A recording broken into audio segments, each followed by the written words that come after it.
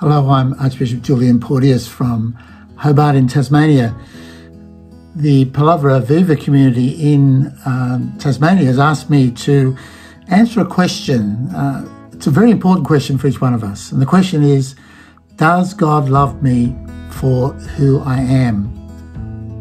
It's raised a very basic question about the way in which God sees each one of us.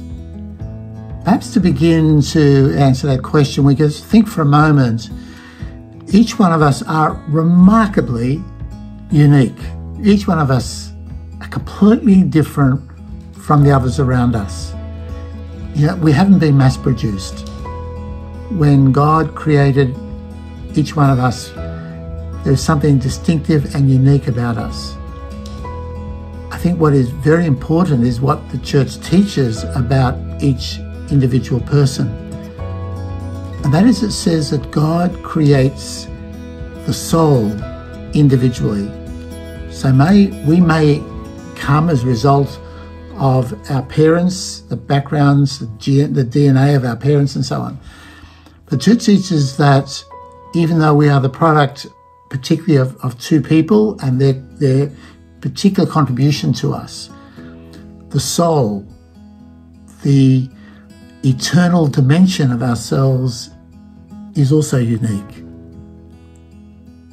And this reminds us that God has, in fact, created each one of us distinctly, uniquely. So God sees us not just as part of the massive community uh, of, of, of humanity, but God sees each one of us individually, personally. I think the second consideration in answering this question is to be aware of the fact that when we are baptized, we become sons and daughters of God. God gives us the gift of His Holy Spirit. We have divine life in us. And then that changes our relationship with God. And Jesus taught many, many times in many, many different ways said, You've got to see God as your father, Abba, Dad, your personal father.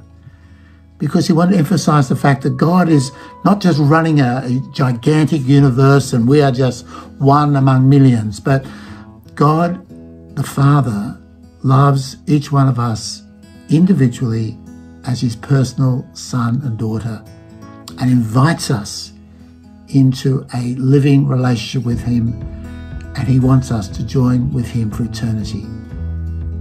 Does God love us? Absolutely. In the way He's created us, and particularly in the way He's drawn us into His life when we were baptized. May God bless you and keep you always. Amen.